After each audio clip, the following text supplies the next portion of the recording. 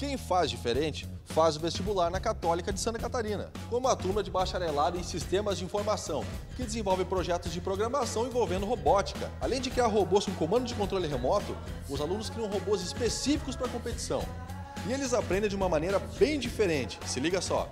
Note-se que a robótica é uma coisa muito simples para ser montada pelos, pelos, alunos de tecnologia de sistema de informação. Eles apresentam um conhecimento muito aprofundado na área de, de programação que facilita o desenvolvimento de programas para os robôs. Nas atividades de, de extensão com robótica, é, as aulas acaba definindo tanto com a parte teórica, que os acadêmicos têm que definir os projetos para ser trabalhados com, com objetivos específicos, e dentro disso eles trabalham depois com a parte prática. Esse é um robô exemplo, onde nós trabalhamos com uma programação é, de, nível de complexidade mais altas comparado aos outros robôs que nós estamos trabalhando. Ele trabalha com rádio frequenciado, onde eu tenho é, um rádio de 2.4 GHz juntamente com um controle que foi construído.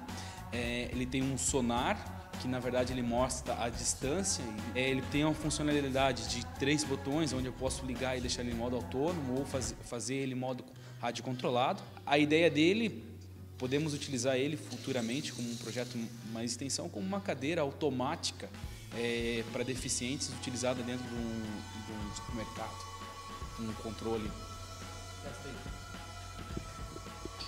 Você já se imaginou criando algum robô? Se essa é a sua praia, saiba mais sobre o bacharelado de Sistemas de Informação da Católica de Santa Catarina.